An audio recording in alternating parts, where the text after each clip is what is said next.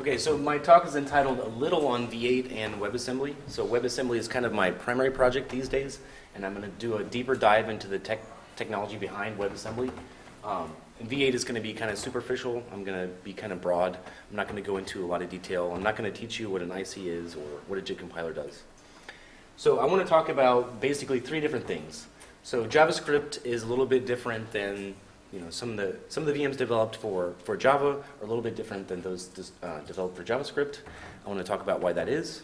I want to talk about V8 in particular, why it's unique, why it's challenging to work in V8 maybe. And then I want to talk about this new project that I've been working on uh, in this collaboration across industry, across browsers, across companies, and it's called WebAssembly. I'll start my talk with a lie. Uh, JavaScript is unique and interesting. Uh, those are uncontroversial things, I think. Um, whether it's a great language is up for debate. People have different opinions, but it's no doubt that it is the language of the web. It's everywhere the browser is. People use it to drive their web applications from small scripts that just do doodads to huge things like Gmail and Maps. JavaScript is a actual, actually a scripting language.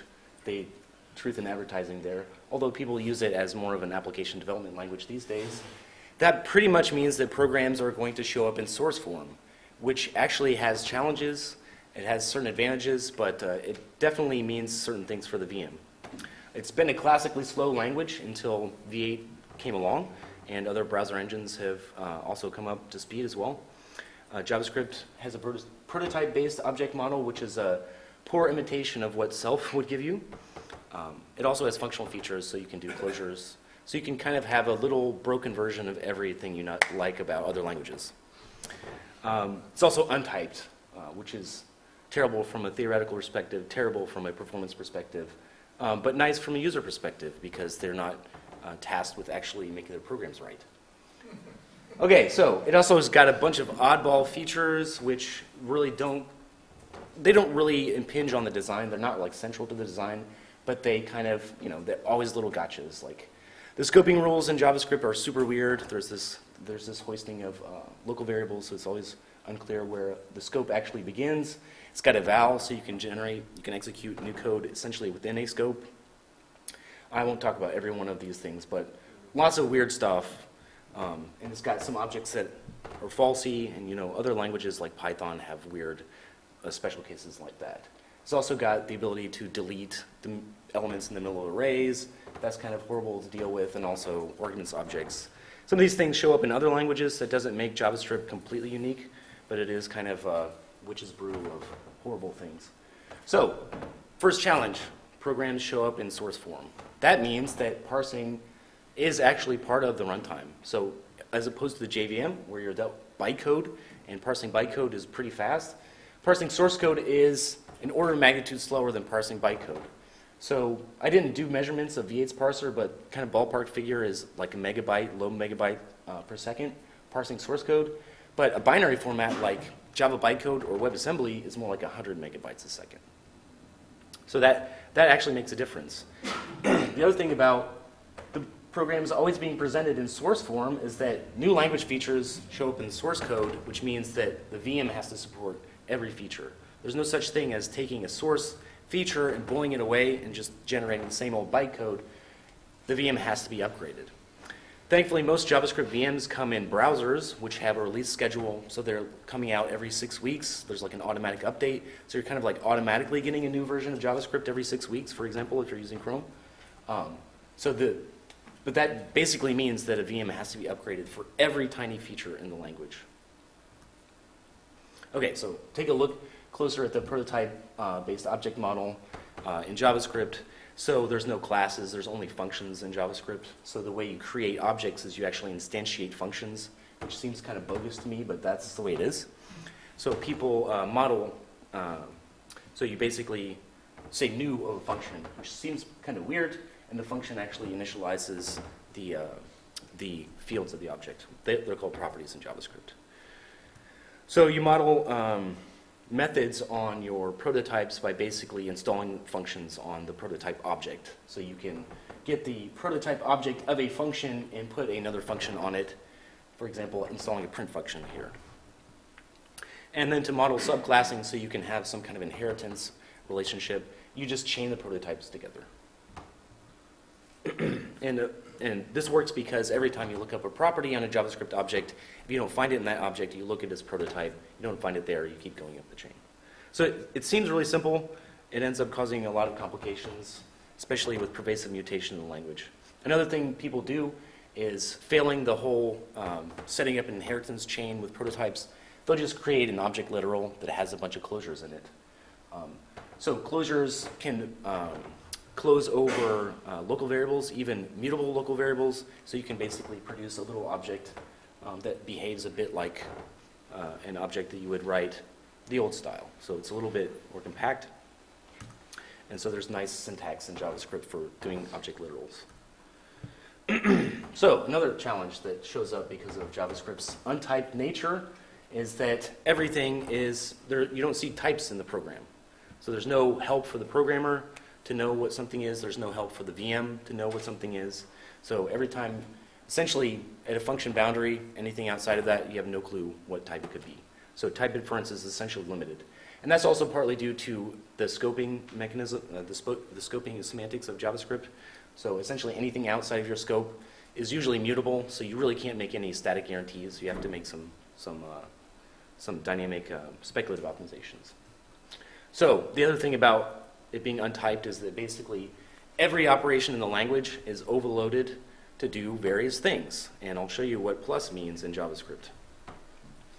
If you look at the ES6 spec, it's written, thankfully it's written in HTML, so you can jump around in the different subroutines and the semantics of of the plus operation, you don't have to understand, you don't have to read this slide, but you can see there's this sequence of steps. Part of it has to deal with like the evaluation of expressions, um, but you can assume that if, if plus were a strict operation, you already have two values. What do you do? There's like a type case. Maybe one's a string, then the other one should be a string. Okay, maybe one's a number, uh, then the other one should be converted to a number. Okay, so you start clicking around. Aha, the first thing you have to do is a ToPrimitive. The ToPrimitive operation has this, you know, table and it has a bunch of other things that are implied and a bunch of cases. And it may be, this may be a little bit verbose to read just because it's semi-prose, but that's not the real problem. The real problem is that it keeps turtling down. So ToString implies a ToPrimitive, uh, and you dig into what ToPrimitive does. Oh, there's a ToNumber, and ToNumber actually does, you know, there's this big case for what converting strings to numbers does, and there's this stuff. You notice there's links in between. ToNumber actually goes to ToPrimitive, and the original one actually goes to, yeah. So you start getting confused very quickly. ToPrimitive can actually look up something on an object, which means that we're going to this get method routine, which is actually a prototype, uh, excuse me, a property access, which is actually there, and there can actually be a ToObject conversion involved. And actually, there's another shortcut case over here where you can actually just directly call a user method. And of course, all of this, this, this big blue box, I'm not even going to show. There's like a whole transitive closure of, of horror behind that. Um, this also is another mechanism to do interposition. And then uh, ES6 added proxies, so you can intercept even all of that too. So this whole stuff basically makes addition observable. So you can observe essentially every operation in, that a JavaScript program does um, by feeding it weird stuff. Okay, so if we go back to what this really means, what they're really trying to do is make this happen, either a number conversion and a number add, or a string conversion and a string add.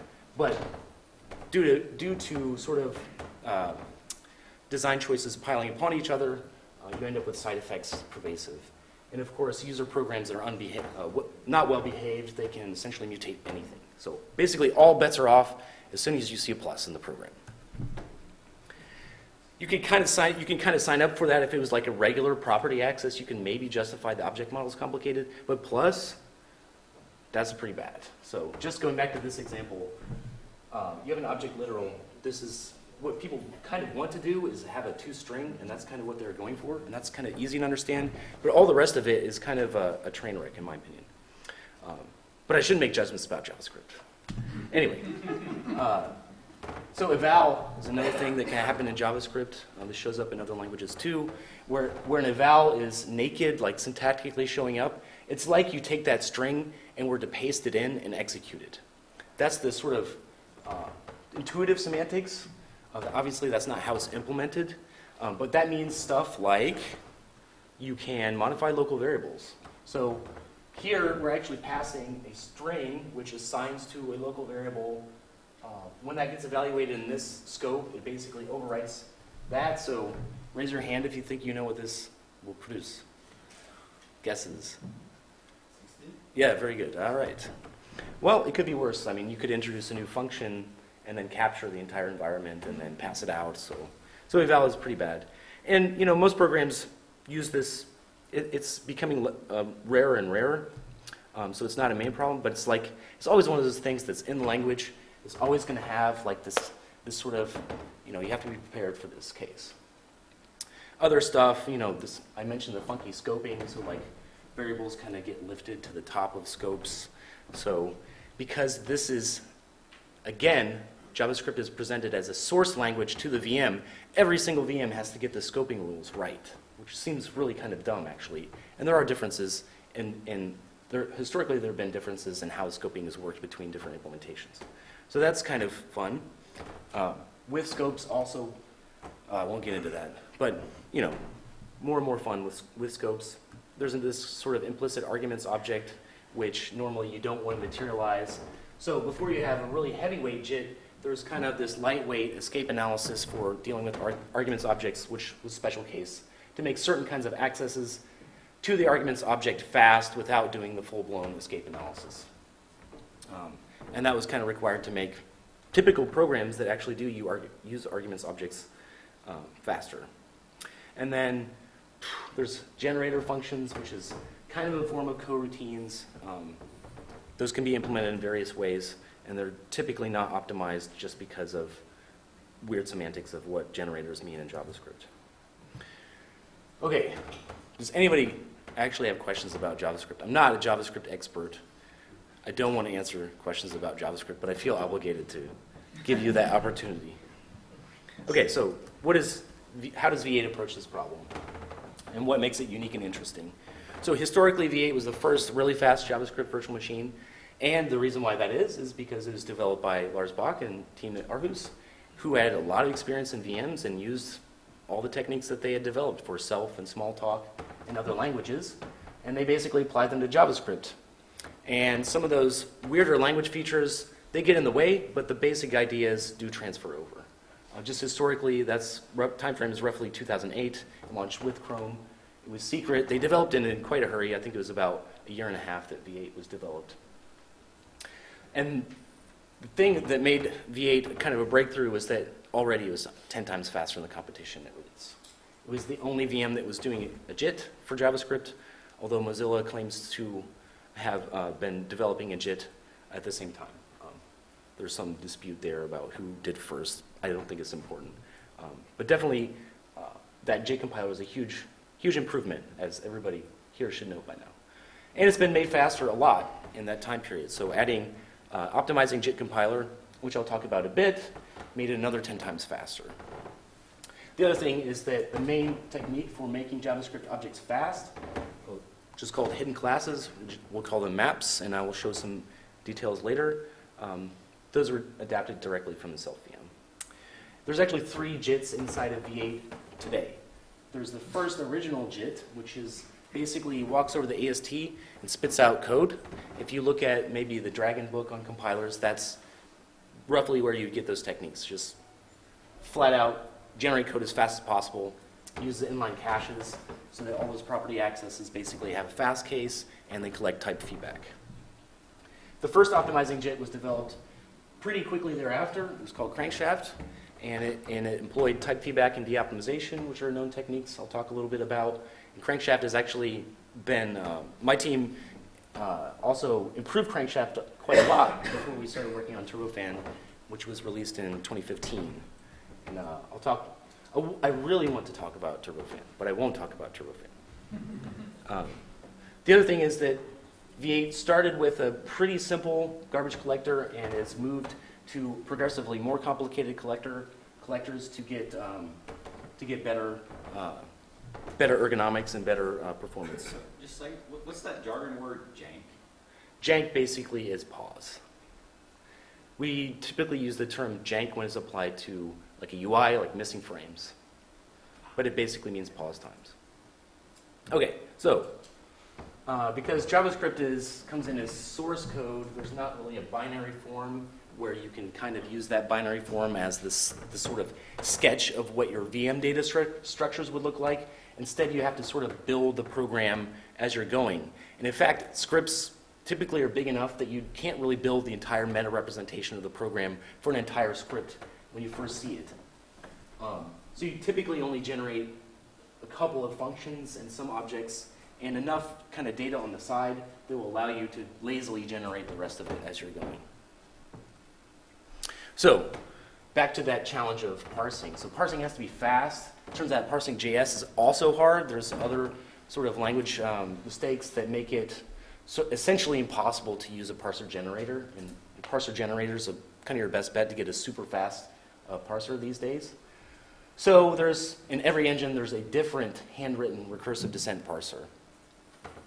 Um, and like I said, they're all kind of in the sort of megabyte a second range.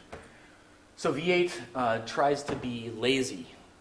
What that means is that we don't do a full parse for the entire script. We have actually two modes of parsing. We can parse the program, but only kind of find the, the sketch of its structure, basically find where the function boundaries are, or we could do a parse, which is typically only for a function which builds an entire AST for that one function.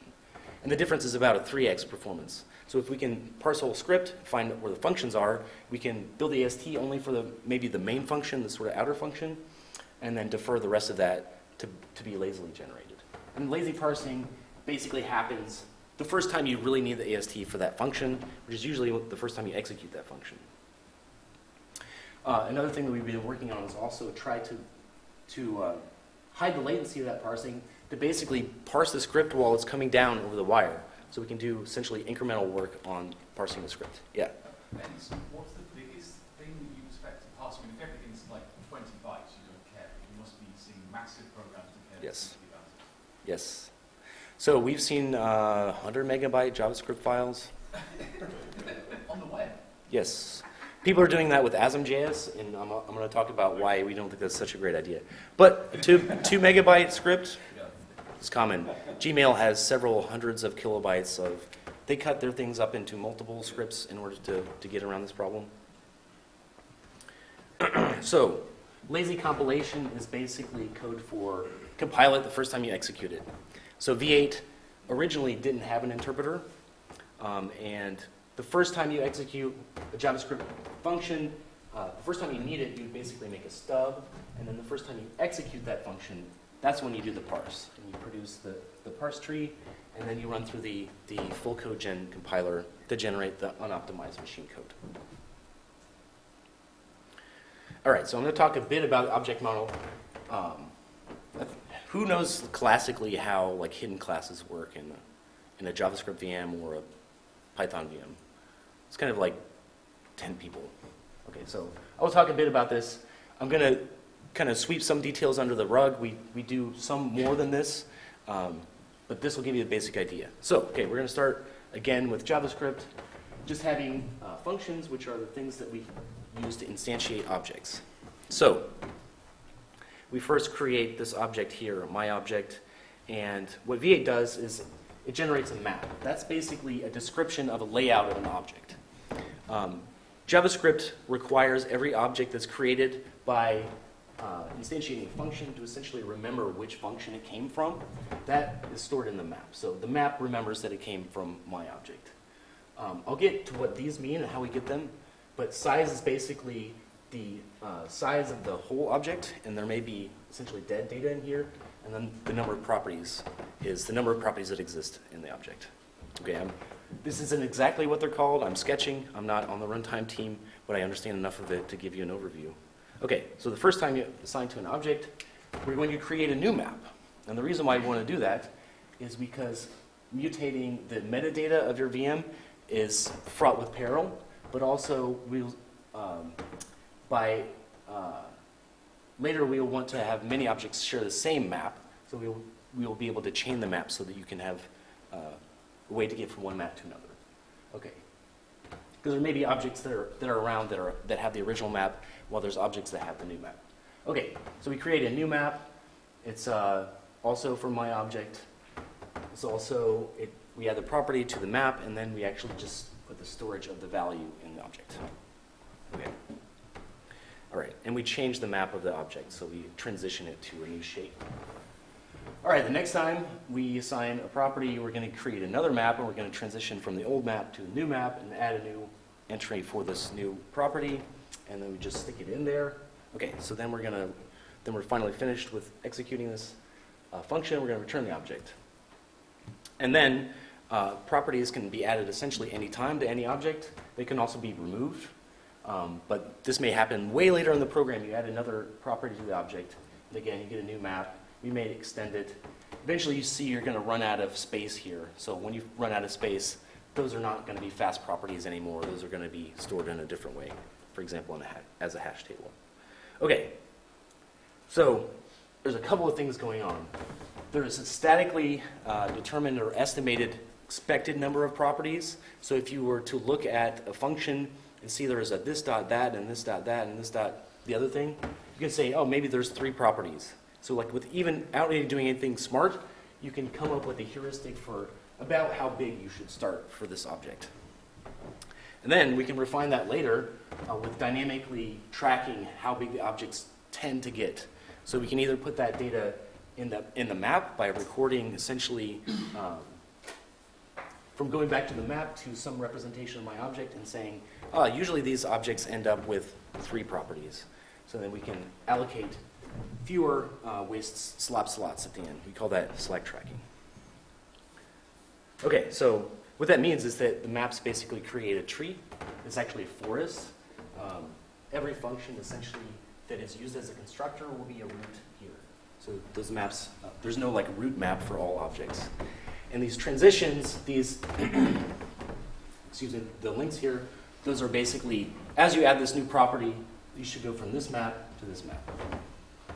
Does that make sense? So if you have an object which currently has this map and you add a gauze property, then it goes to that map.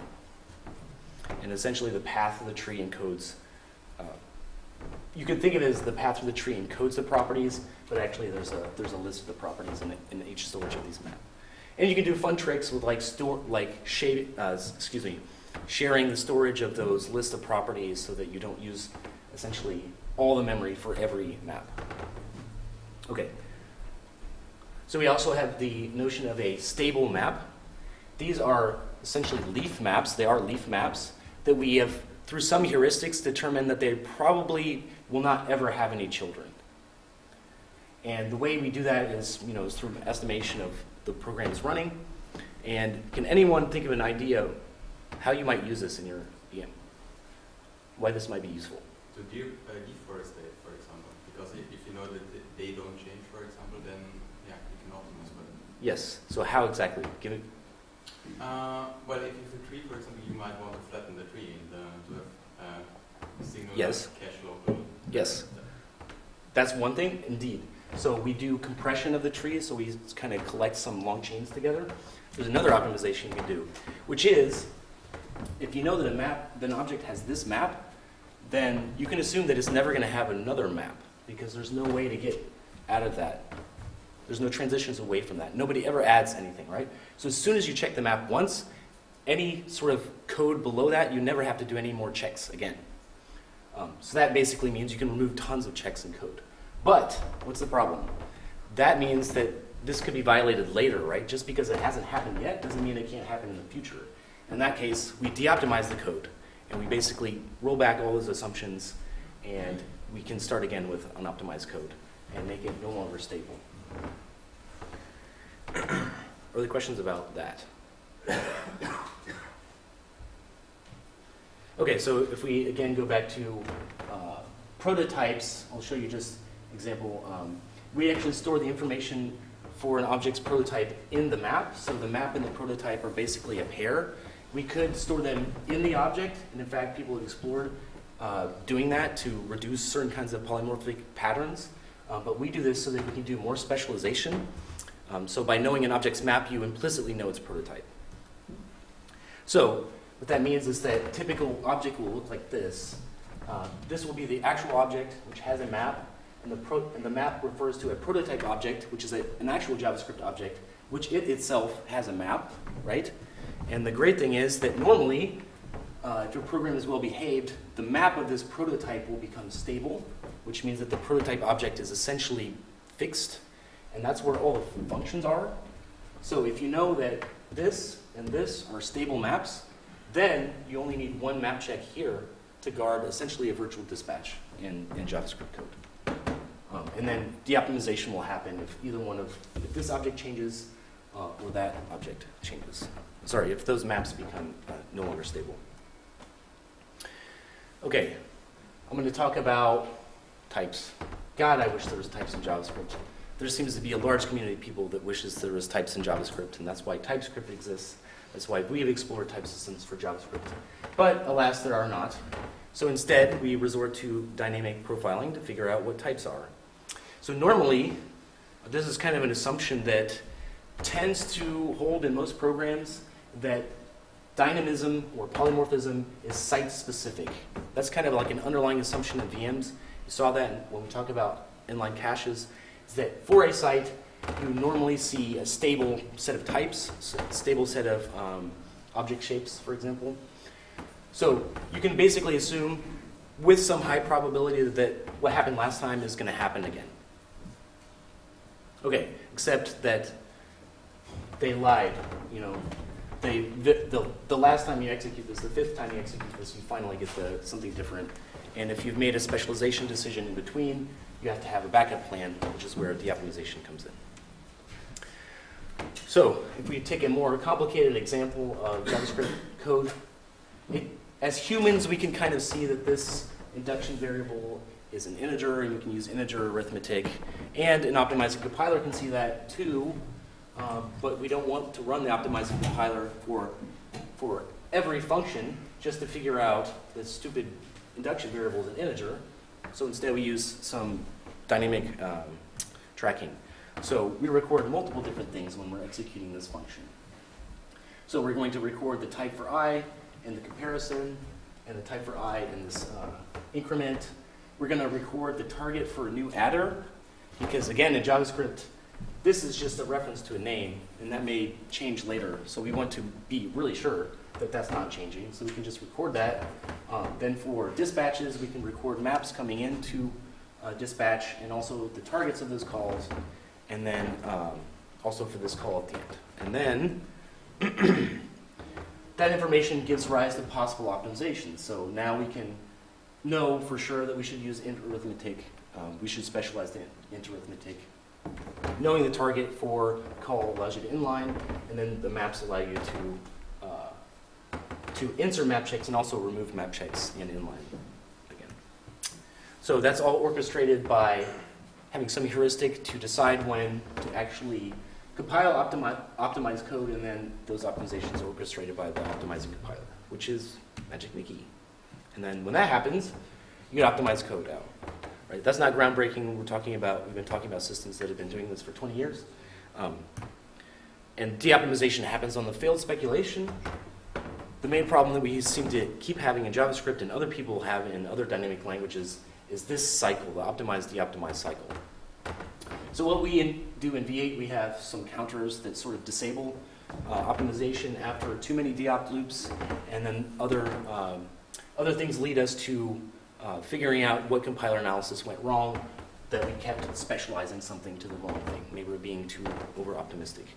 And these typically are the kind of performance problems that we see and want to fix. It's that it's not that the optimized code is bad, although that can happen. It's usually that you optimize and de-optimize, optimize and de-optimize. Especially with code in the wild, which doesn't look very much like benchmarks. It has a lot of polymorphism. And when they run really slow, it's usually because of this. Okay, so this is a play on words if you know German. Um, there are three tiers in, in V8 now, actually. Um, the full code unoptimized thing, Shrek, the ugly thing, um, but it's actually fast. And we have crankshaft optimizing compiler and turbofan optimizing compiler. How do we orchestrate all this? Good question, I don't know. We actually have a fourth tier now. So now we actually have an interpreter in V8. And this is not turned on in production, but this is something that we want to use for faster startup, saving memory, and um, basically reducing the latency of startup. We, our technique in doing this is instead of writing, writing an interpreter by hand in either C++ or assembly, is instead you write in a, essentially a language that looked like uh, Cliff's macro assembler, but actually generates compiler IR for Turbofan, and then we use Turbofan to compile the actual interpreter itself. So that way you actually get a portable interpreter that's actually pretty fast. The good thing is, is that when you tweak Turbofan's uh, code generation or register allocation, you get a faster interpreter. Um, and actually, that means that we have very little platform-specific code for the interpreter. There's a little bit dealing with calling conventions and stuff like that, and we make use of the fact that Turbofan runs on 11 architectures, so the interpreter runs on 11 architectures. Okay, so I'm, that's all I'm going to really say about the runtime and um, JIT compilers in, in V8. So I'm going to talk a little bit about garbage collection. So there's this, I was talking with Tony and Richard about this impossible triad. You want all three of these things. And we're probably, with GC technology today, there's a trade-off between some dimensions, but we have some, we have some new techniques to get better here.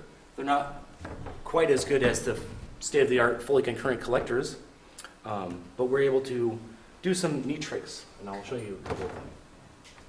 So V8 has a generational garbage collector with incremental collection. So what that means is that semi-space collections are usually on the order of a couple of milliseconds. Those are those are copying basically. By limiting the size of the of the young generation, you can limit the size of that copying cost. It's really fast for most programs that um, don't have a lot of surviving objects, and within that time window, it does extremely well. It's actually really hard to beat, even in throughput. Then for collecting the old generation, we have an incremental collector. So all the work to find all the live objects, you split it up into incremental marking stages, and those allow you to have lower pauses. So these pauses occur, occur more regularly, uh, but they're smaller. And that's actually configure, configurable. You can essentially choose how much marking work you want to do, and then estimate how much time that marking work is going to do, and tune the, talk, the pause time. And I'm, I'm going to talk about that a bit. Um, there's also, you know, the final uh, compaction takes some time to do an atomic pause at the end. Um, and also, yeah. So those are on the order of milliseconds. So we're not state of the art in the sense that it, it close to what uh, concurrent collectors are doing for pause times, but we're actually have really good throughput. okay, so with incremental marking, as I mentioned, we can choose how much mark work that we want to do in a particular cycle in a particular um, quantum. And the way we, that means that we can basically, we can't change the total amount of work because we still have to find all the live objects, but we can choose how to slice up those pauses. So we're going to use that when, we, when it comes to actually dealing with this amorphous thing out there, which we call users, who apparently perceive latency from time to time. And we discovered Actually, it's not that surprising that latency is critical for the foreground tab in Chrome, right? You want to have essentially latency-oriented uh, configuration of the GC, and you want to have memory-oriented configuration of the GC for the other tabs, because they're roughly idle. Um, so we can do, we can essentially afford to do uh, more aggressive garbage collection for the background tabs, if we can do that sort of uh, as background work and save the memory but we want to we want to keep the low latency for the foreground tabs. And you can keep the low latency, but you can also hide the latency. Where are you going to hide it? And so Rick Hudson had this idea, which I think he was joking, but we took seriously, that you put the GC latency where nobody's looking. Which sounds kind of crazy, but actually, there is a place to put it where nobody is looking. Since we're rendering frames of a UI, there is a certain amount of time that we need to generate the frame. And some of that is JavaScript execution time, which does animation, changes the web page. And then when JavaScript is finished, that, that is committed to the, the internal state of what a frame is going to look like. And then that's handed to you know, C++ level uh, browser stuff, which does all the compositing and drawing. Right? And then JavaScript is actually idle during that time. And this may happen on another thread. So that idle time is a perfect place to put GC. if we were not so smart, what may happen is the garbage collection time happens during JavaScript time, which means that that commit is too late. So there's nothing that the compositor thread can do. It just got the work too late because the GC was in there. So instead, oh man, this didn't show up. Here we go. So instead, what you want to do, uh, this is the missed frame case, where basically we want to execute all of this JavaScript and get it done before this frame, but the, unfortunately that GC happened there. So instead, if we knew that we had some GC work to do by estimating some magic number, we could move it earlier before it's really, really needed into one of these other idle periods. And that's easier to do if you can configure it and make it smaller and you know how big those idle periods will be. So V8 actually has online heuristics to estimate the amount, how fast we are currently doing young generation collection speed. So that will help it figure out how big a young generation should be to make those pauses small. And it figures out about how fast we're able to mark um, objects. So that, that is an online estimation, so it's not like a static heuristic like marking 500 objects millisecond or something like that. Uh, we're actually measuring that. And then we also measure the, the, uh, the mark compact speed at the end too. Then with those numbers, we can estimate how much time it's going to take to do a particular amount of GC work. And then we can have our friend Chrome, this giant operating system uh, masquerading as a browser, schedule that time into these idle periods between frames. And that actually happens a lot. So for real web pages that have real animations and a lot of stuff going on, almost all the GC work happens during idle time. And that translates into uh, real savings um, in terms of how janky the frame rate is. So we, we define a metric on how janky frame is frame rate is, which is like how how far away you are from the frame rate that you're trying to get, like how late those frames are. And this this technique uh, improves a lot. Unfortunately, I lost the slide on what those numbers were. Okay, so that's all I'm going to say about V8. WebAssembly is implemented inside of V8, but uh, I want to give you guys an opportunity to ask questions about V8. This is kind of a natural transition point in the, in the talk. Uh, explain again, uh, what's, wh- why it is important to do GC in, after uh, JavaScript? And why it's not, it's not a, a big, a big deal if you do it in parallel with, with C code? Right. don't this one. Okay, so the the way uh, an animation frame works. Let's see if we can go back and show this. Yeah, so the way an animation frame works is that uh, JavaScript has this event loop built in where JavaScript is getting called for every frame. And JavaScript does some work at the beginning of the frame, and it modifies JavaScript objects, but also modifies the web page itself, the DOM elements, okay? And when that finishes, like JavaScript is finished from, with that event, and that event loop has terminated, then it's time for, um, then it's time for the compositor, uh, stupid animation. Yeah, then it's time for the compositor to get going, right? So the earlier JavaScript finishes, the more time the compositor has, which is C code. It doesn't, doesn't access the JavaScript heap, the more time it has to finish that frame. So basically, if you can move this over there, then that one's in, in parallel. Good? Okay.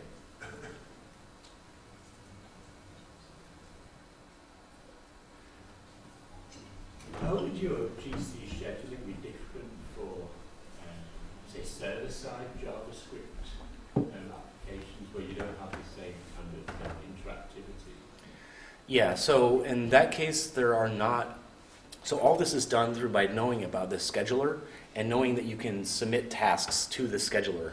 And the tasks, you can configure the size. If this, basically, if the scheduler is not available at all, you can essentially turn this stuff off, and then the, the, uh, the incremental marking steps have a different heuristic for tuning for sort of throughput case.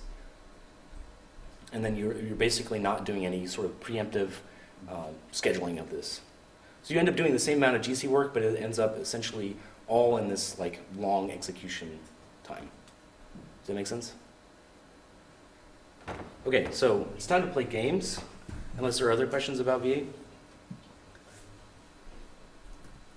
All right, so I can turn the. So this is what people want to do on the web. This is a 3D game which someone used the Unity game framework uh, to write.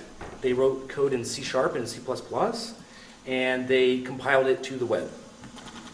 This is WebAssembly, um, but what typically people have been doing before is they've been compiling this C++ code into JavaScript.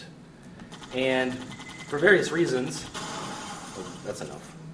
I think you got the picture. Uh, for various reasons, that's not a good solution. So V8 is you know, optimized to run very polymorphic JavaScript. It's not optimized to run JavaScript, which is a C program, which is emulating a C heap. Um, the pressure is coming from competition with installed mobile apps. So people are basically developing web apps that are as complicated as Android or iOS apps. Um, obviously, with those two platforms, there's portability issues and there's lock-in issues. Um, people are basically wanting to take bigger and bigger apps and compile them to the web. They already have this huge pile of code. They already use OpenGL. And they basically want to make it work on the web because they're sick of dealing with 30 different platforms or dealing with the intricacies of Windows. Um, the other thing that's really great about you know, the pressure to bring this native code to the web is that people typically write their audio and video codecs, which is some new uh, compression technique for a video in C++. So they can run in one context, and if you can do that and compile it and then run it on the web, it basically gives the web a new video codec. So we've got uh, pretty good information from YouTube that they would like to be able to experiment with more efficient video codecs, and they could save a lot of money if they could deploy new codecs. And if you have to deploy a new codec by getting C++ either plugins or codecs standardized and put into the browser itself, into Chrome, then that slows down the whole process. But if instead you can compile it and run it on the web, you can experiment much quick, more quickly. I mentioned that people are compiling to JavaScript, and JavaScript, JavaScript has been going through contortions to serve as a compilation target for this for a couple of years. I don't think that serves JavaScript well. It it doesn't serve V8 well. Um, so instead, we'd like to come up with something that actually does serve this use case. The other thing is that um, machines, almost all machines these days that are popular, have some kind of vector unit, and you can't get to that through JavaScript very easily.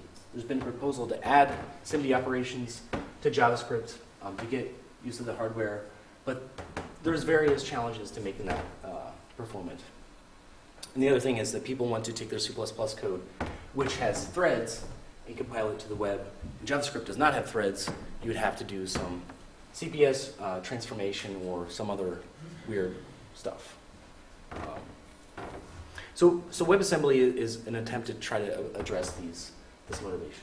So I want to give a small detour through ASM.js. What is that thing? So ASM.js is a way to get uh, very low-level type system in JavaScript through um, annotations. So normal JavaScript, as you saw before, what does a plus mean? It could be horrible, right? It could invoke user code, it could have side effects, it could be any one of these things. The VM has to generate backup code in case this doesn't always hold. Um, But instead, if you know this statically, just these couple of facts, you can actually generate an int32 add. So if you know that uh, X is an int32 and Y is an int32, you add them together and you strip away the upper bits, which is what this operation does, then actually you can't, you can't observe any of the, the upper bits from that, that calculation. You can't observe the doubleness of it, and then you can generate an int32 add, which is what you intended all along.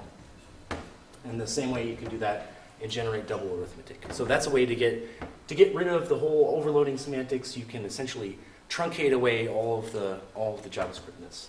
So you can compile C code that does just arithmetic. The other thing is that you can uh, JavaScript has array buffers, which are basically big chunks of, of memory that you can uh, bang on. And if you make a closure around a particular array buffer, then you can make that array buffer your C memory. You can emulate a C machine.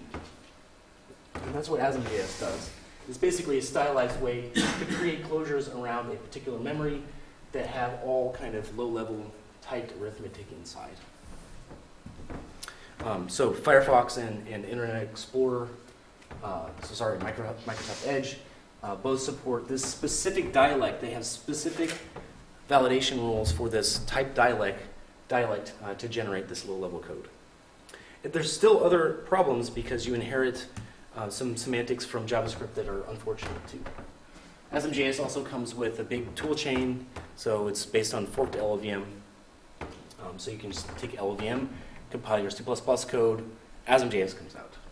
And then making all that work actually requires a lot of sort of supporting code underneath, so an implementation of OpenGL on top of WebGL, which is a web, uh, which is a, a web standard for, for doing OpenGL-like stuff.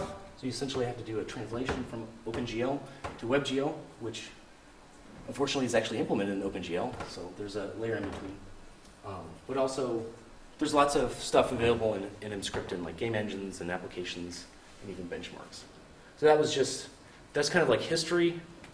Um, and I'll talk about why WebAssembly uh, is better. Um, just one more thing on that, on ASM.js. So we built Turbofan. Uh, one of the main use cases was to, was to do better on ASM.js-like code. Um, we use a lot of advanced type analysis in, in Turbofan, which you've seen some of my previous talks, maybe you get a, a flavor of. and without using any custom solution, maybe, maybe we sort of have some self-denial about this being a custom solution. But using generally appl- applicable optimizations, we are basically to get, to get within this small bit of percentage uh, of performance on the versus a custom solution that supports ASM.js uh, directly. That's without really any interprocedural optimizations. Um, and, the, and the hope is that all of the effort that we put into optimizing uh, in the general case also helps with normal JavaScript. We're still working on delivering that last part.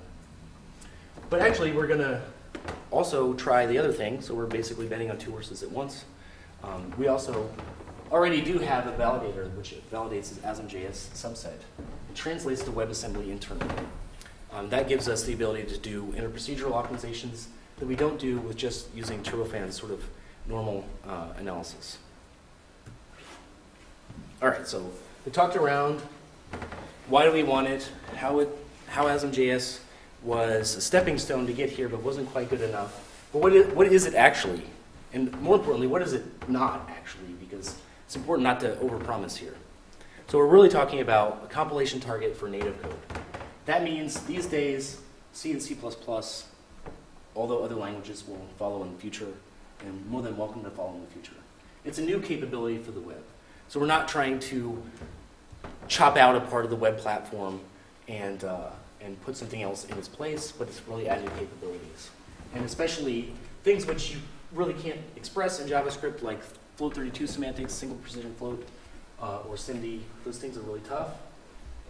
You can, you can integrate WebAssembly with JavaScript. You can call web, web APIs from, from uh, WebAssembly. And it also gives you this other kind of contract that you'll get pretty good performance out of it. In fact, it's basically assumed that you will do ahead of time compilation and get C level performance out of WebAssembly. That means fast calling conventions, we're not boxing anything under the hood, there's no GC pauses, and when you load a module and it's ready to go, the JIT is not running. Not that I don't like JITs, I love JITs. Okay, so this makes our life more simple internally, and just show you a picture of that in case you're interested. But normally, uh, if you would have ASM.js code, which we still labor the, under the, the uh, delusion is regular JavaScript, we just run it through a normal co compiler pipeline, which means it, get, it goes to unoptimized code first, and then it gets it warms up, and then we go to Turbofan uh, for all the hot ASM.js code to generate optimized code.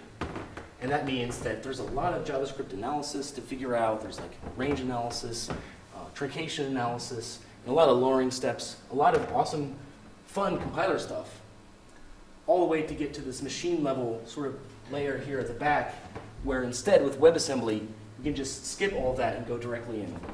Um, so this decoding step is going to be way faster than going through this whole warm-up pipeline. So, and the other part of that is that we can we can skip some of this stuff for ASM.js uh, modules and, and be able to get some of the same guarantees. You have this extra step, so there's going to be some more latency, but you essentially are able to get rid of some of the sort of custom ASM.js um, um, analysis in the compiler. All right. So let's actually look at what this WebAssembly language is like. Uh, it's got some data types, not very many, which is great. It's got integers, surprise. Uh, 64-bit integers, surprise. 32 and 64-bit floating point numbers, and that's it. It sounds kind of stupid, actually, when you say it like that, um, but it's actually very simple. It's very low level. Functions are flat. There's no nested functions. There's only a single global table of functions. Uh, they're statically bound, so there's no like late binding of like I'm referring to this function by its name, but you have to go look up its name. You just refer to a function directly by its index. So when you compile code, you get a direct call. When you do indirect calls, they go through a table. That's, that's so that we can verify that you're calling something with the right signature, and we can actually generate safe code that, is, uh, that doesn't go smash stacks and stuff like that. The way state is handled is with a giant array. That's it. We're emulating machine. This is a machine. And the execution stack is trusted, which means that when you call a function, you don't get pointers into its stack like you can in C. So you can't damage the stack. Okay, and that's because we want to sandbox WebAssembly. So the operations that you have on data types are all the standard set. You can do all the standard arithmetic, um, which is completely uncontroversial, but it's impossible to actually get through the JavaScript sieve. So instead we have WebAssembly.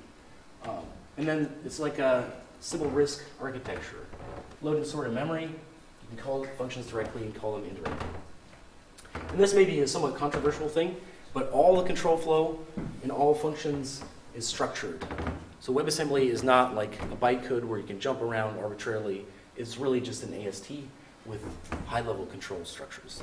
And there's a good reason for this, and I'll talk about it. It's about verification. Okay, so just to visualize what I just talked about, this is the WebAssembly virtual machine. It seems, when you put it like this, it seems really trivial, doesn't it? And that's actually a good thing. The linear memory is just a raw byte array. It's basically, you can bit bang there.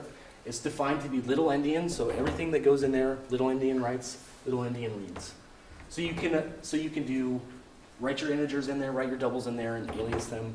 There's really uh, nice rules about making that portable, so it's very deterministic about what you're doing. Okay, so then you get your functions. You name them all with numbers, so we don't have to have symbolic names or symbolic linking. And you can make up your own table for calling functions indirectly. You can do things like duplicating a function. And the reason why that is, is that when you compile C++, you can actually put the, the v tables in the indirect function table, which is not mutable. It's not part of the application state. So program bugs up here, or even attacks up here, don't change uh, C++ virtual tables, which is actually kind of nice. Kind of enforces a little bit uh, more safety guarantee. And then again, the execution stack is not part of the application state. That's hidden in the virtual machine.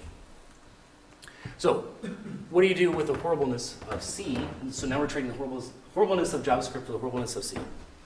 So how do we do that? So we basically say, all right, pointers are just integers into, and they're just indexes into the memory. Okay, C has the ability to alias the stack with pointers. How do you deal with that? And the answer is, well, you don't deal with that. You make the user deal with that. The user basically allocates their own addressable stack. Thankfully, LLVM has pretty good analysis to be able to do this minimally, so you only have to generate a small amount of addressable stack. And then, since everything above this line is all chaos in userland, we don't care if the C, C program crashes, blast the stack. It doesn't, it doesn't break the execution stack.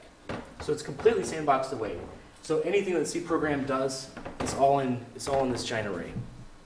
And that seems, it actually seems insane to people, but it's actually really fast. The bounds checks basically mean that every time we access the memory, we're going to check against the bounds of the memory. We measure that very carefully, and it's like on the order of 5%, typically. You can write micro benchmarks where that may be 20%. But actually, surprisingly enough, this model is fast. It's as, basically as fast as C code. I'm not talking about integer factors away. Okay, so what does a binary code look like? So we're designing a binary code. The reason for that, instead of having um, an AST, is because it's a compilation target, and it should be compact. So as I mentioned, people are shipping us 100 megabyte ASM.js files. Um, that's, in ASM.js is not particularly compact. So we want to do better by having a binary format. We basically want to design our way out of the parsing problem. The other thing is that we want a verifiable bytecode. So we have to type check the bytecode. We want to make that easy. We want to make that one pass. So Java bytecode unfortunately does not have a linear pass for doing type checking. And that was actually one of, one of the design, uh, one of the uh, things that we looked at carefully uh, for design mistakes to avoid uh, was requiring multiple passes to verify.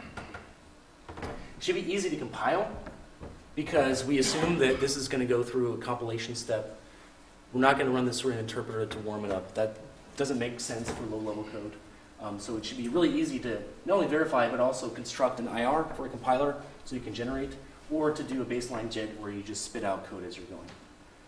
The other thing is that we want it to be extensible. We don't want to use up the entire opcode space. We want to make sure that the encoding has the ability to add new features in the future because that seems to happen over and over again. People want to extend these things after the fact. Okay, so those constraints, those goals, we ended up with a design where we have an AST, and the AST, as I mentioned, has structured control flow, has expressions, and has local variables. So instead of having a stack machine, which verification requires checking that stack heights match up, by having an AST and by having expressions, all that is essentially trivial. And we also allow AST nodes to be expressions, so you can do things like, uh, you'll see, you can nest a, a block inside of uh, an add, for example. So you can have kind of side effects deep in your expressions. And this is all, and also, as it turns out, encoding an AST with a very custom binary uh, representation is smaller than stack machine, smaller than source code. the other thing that we're exploring too is to add the ability to add, to essentially renumber the opcodes in the application for better compression. All right, so WebAssembly, uh, excuse me, WebAssembly module uh, basically looks like this. Uh, I don't have all the sections here, but this is just a sketch. So if you're going to go out and implement WebAssembly based on this presentation, please instead look at the spec. But, uh, so we have a memory declaration, uh, which is going to talk about what the memory looks like, how big we want it to be. Uh, we've got function signatures, so we can talk about functions being typed and having a set number of arguments. We have the functions themselves, which has code. Um, we have a declaration of the indirect function table. Again, this is an immutable thing, but you get to control what its layout looks like at the beginning. And you can also have data sections too. One thing that people do in JavaScript is they have huge arrays of data that are actually like numbers everywhere, and it's just some chunk of data, right? And actually, we don't generate that great of code uh, for that. So what they really want is just a data section, like a, um, a dot data section in an ELF file. Okay, so in WebAssembly, you can essentially configure the memory up to some constraints. So we want to use virtual memory techniques to do the balance checks around memory. So we have some constraints on how your memory can be sized. It has to be essentially aligned to a page boundary. We define a page size of 64K. So as long as your memory is aligned to those, you can say the minimum size of your memory and the maximum, maximum size of your memory. And that's because you can actually grow your memory with an operation. It's not important to this talk, but it's something that's important for smaller devices where you can start with smaller memory and then grow it. You can also say whether or not you want the memory to be exported to JavaScript so that JavaScript can have an alias to it and bang on it. And that's actually important for web integration. Um, so if you, for example, have a texture which is in your C++ program and this raw data there, you can hand it to JavaScript with a zero copy operation and that can go to OpenGL, which you can go to the GPU with, an un, with a zero copy operation. Okay, so sign- signatures, I mean, there's not a, the syntax doesn't look like this, um, but there's a binary encoding of, you know, uh, for each function, what's its signature, how many parameters does it take, what their types are. And then every function has a signature, it has some flags that talk about uh, attributes of it, and then it's got code, which is going to be the, the encoded AST. Indirect function table, as I mentioned, is just you take your functions, you put them in a table so that you will be able to call them indirectly. And then the data is just some raw data in the binary. Okay, so I think Turbofan's pretty cool, and I thought it was really important to be able to go from bytecode to Turbofan in a single pass. Um, and we achieved that. It's basically one pass over the bytecodes to do verification and to construct a sea of nodes. I'm going to talk about in detail how the SSA environment tracks and control and effect dependencies. We use a stack of if blocks and loops because we have this nice AST structure. We don't have to do a pre-pass over the bytecode to find block boundaries and stuff like that. We don't have to iterate or any, any of that to find out where the phi's should go. So we were able to put phi's in all the right places. And we were able to generate, because WebAssembly is so low level, it basically only has machine level operations. So we only have machine level graph, which means that we don't have to do any lowering. So in, in the turbofan uh, design, there's many lowering phases that go from JavaScript down to intermediate level to machine, and WebAssembly basically enters directly at machine level. So we can just do code, code generation there. Um, we go through the, the scheduler, which actually does uh, loop optimizations like loop invariant code motion, it does duplication and pushing down. So actually, there is some inherent optimization in scheduling that happens there. But we can also apply other optimizations if we like. So all the strength reduction optimizations that happen on machine, uh, uh, machine level operators like you know, multiplying by four becomes a shift and stuff like that. Dividing by a constant becomes you know, multiplying by its inverse and things like that. Um, and then turbofans, you may have heard me mention this, but it has very configurable calling, calling convention, so we're able to do essentially any calling convention we want. So there's no it's just like a C call. Actually, it's better than C calls because some, some C have pretty uh, inefficient calling conventions. All right, so what does an AST look like? I think you know what an AST looks like, but what does it look like as a binary? So there's actually kind of an inherent choice. Uh, there's many ways to slice this, but there's kind of two, two major ones. You can do a pre-order encoding in the AST, or you can do a post-order encoding in the AST, or something in between. Uh, we do something in between, but I'll show you just as an example what pre-order looks like. It basically is just as it says. I laid out the AST, so it's pretty obvious. Like, you come to an AST node, you put a byte there, which represents that AST node, and then you sort of recursively do the children in order. And, uh, you know, if you, if you do some tricks, basically, if you have something which is like a ternary uh, expression, then you can save some of, uh, some of this code space.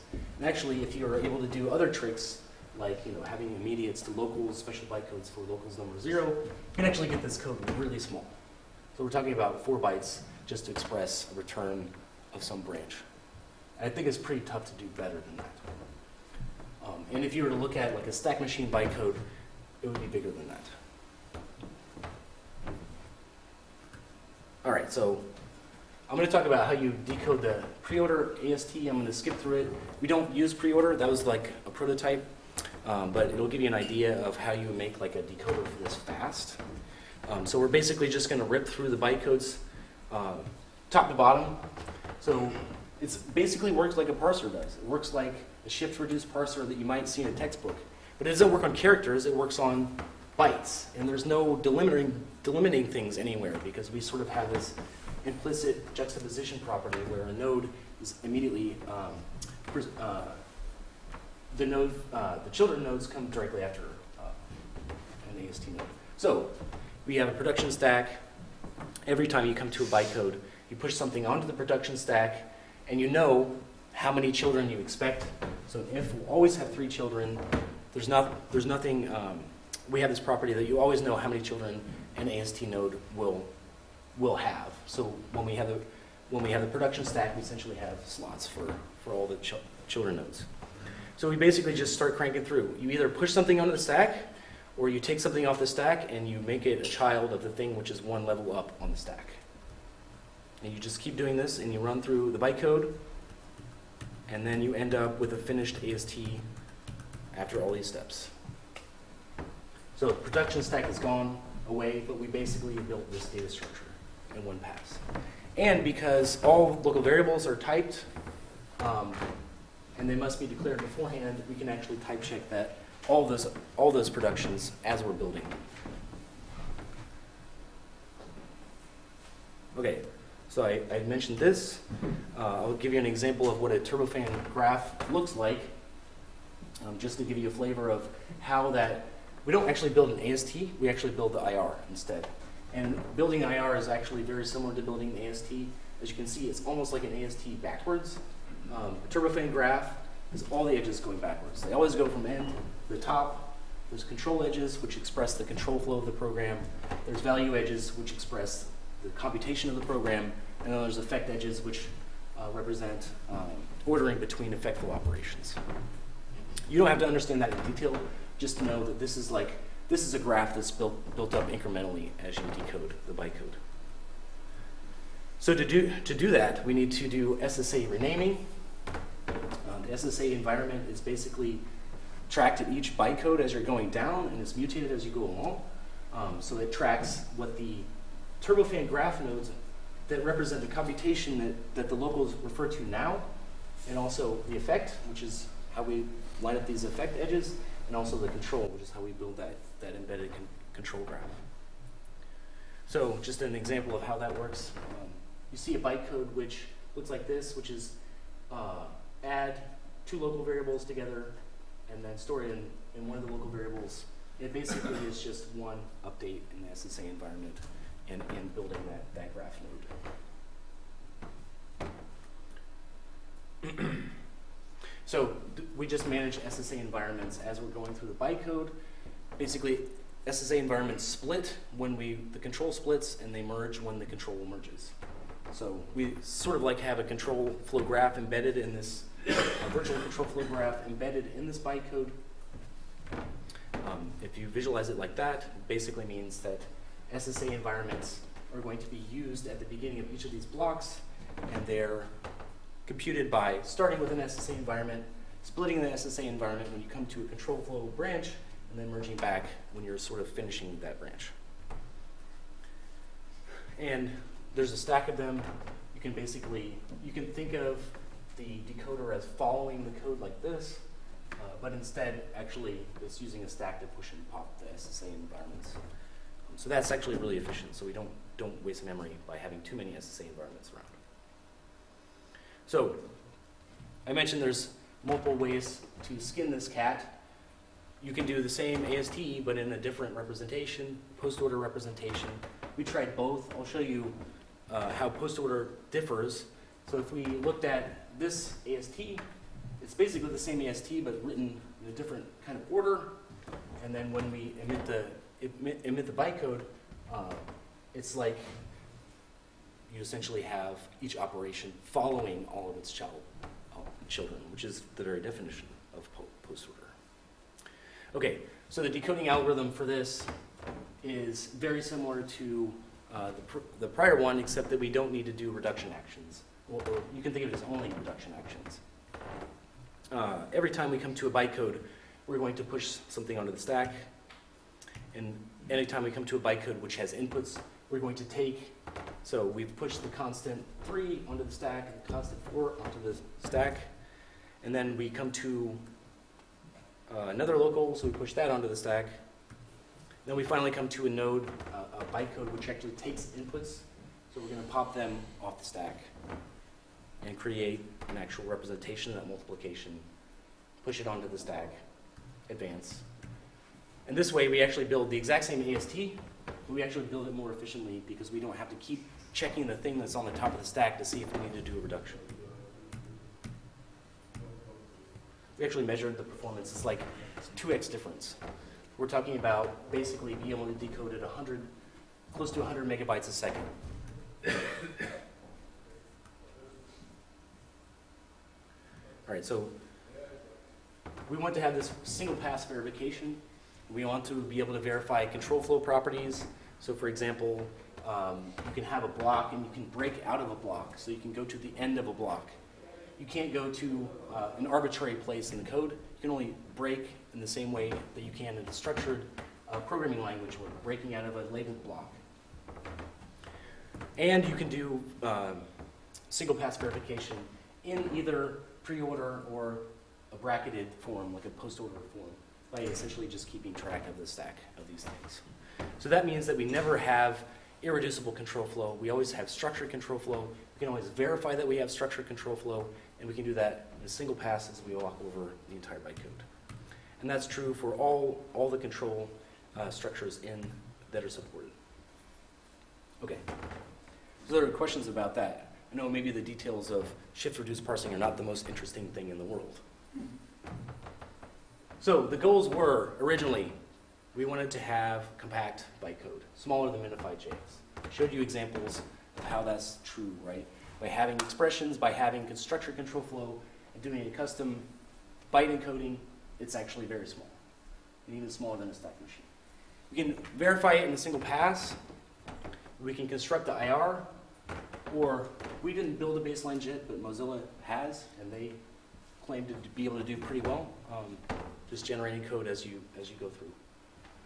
I think it's extensible. I mean, we don't have to get into details of encoding; it's not important. But there's space in there to be able to add new things to modules and new new things to the bytecode. We demonstrated that it's fast to decode. We have an implementation that does the single pass uh, IR construction. And we're actually compiling pretty fast. So there's been a lot of consternation about Sea of Nodes compilers being slow. Our compiler is not slow. We're able to generate almost 2 megs a second.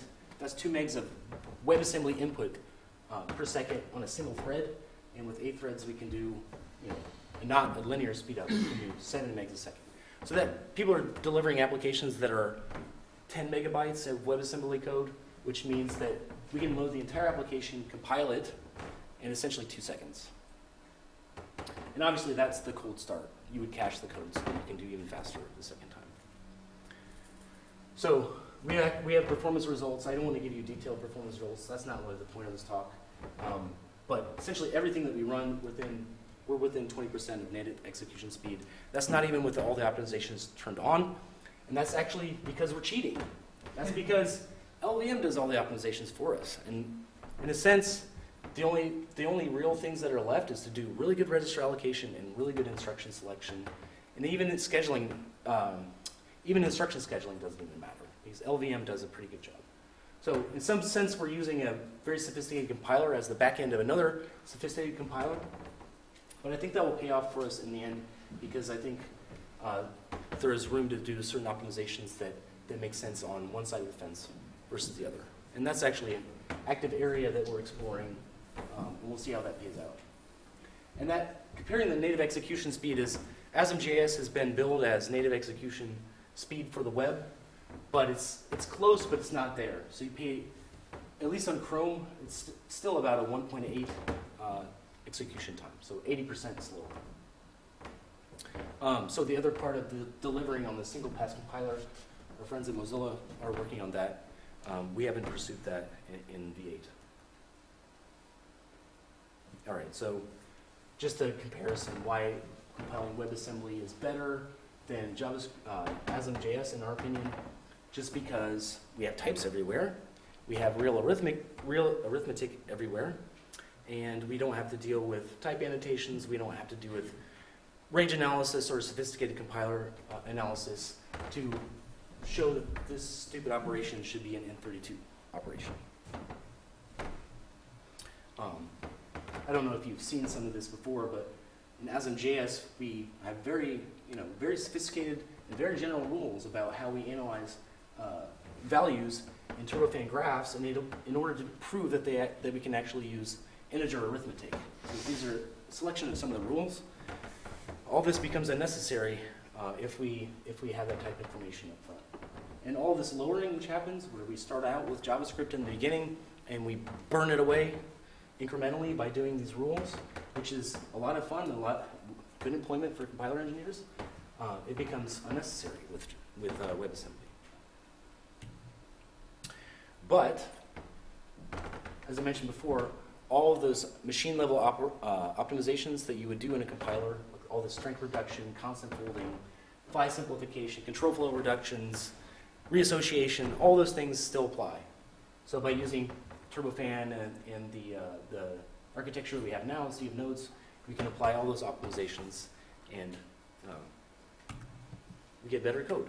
So we reuse the actual piece of the compiler, compiler pipeline think that are important. We do more with GVN, uh, also works on the, on the Sea of Nodes. We, we don't do GVN on WebAssembly um, just because I think LLVM's generally been, been doing a, a good enough job, but who knows what other producers will, will give us. Where is WebAssembly now?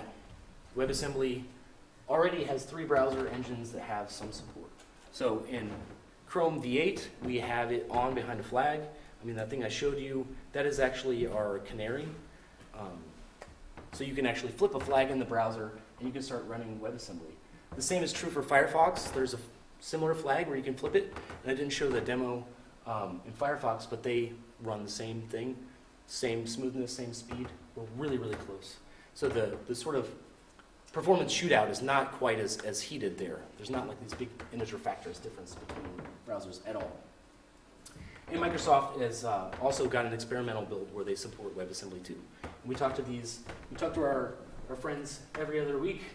Um, this is an active area of development and design, and uh, we can't really say anything about what Apple's plans are because they don't seem to say anything about what their plans are. Um, we hope to ship version one this summer. That's an aggressive goal. It's a goal shared by at least Mozilla. Um, I think the two of us shipping together is, I mean, Edge's whole release process is beyond my knowledge. It's tied to Windows, so they're not able to commit to shipping this summer. But we're both trying to get this done. And shipping does not require standardization, which is the awesome thing about the web. You can ship something that's not standardized. Um, but standardization will happen in, in parallel, uh, concurrently with improving MVP, adding features to MVP, and stuff like that. So we'll start a standardization process to make this into a bona fide, I don't know, W3 standard, W3 standard, something like that. So that's all I have. Questions about WebAssembly V8, VMs, life?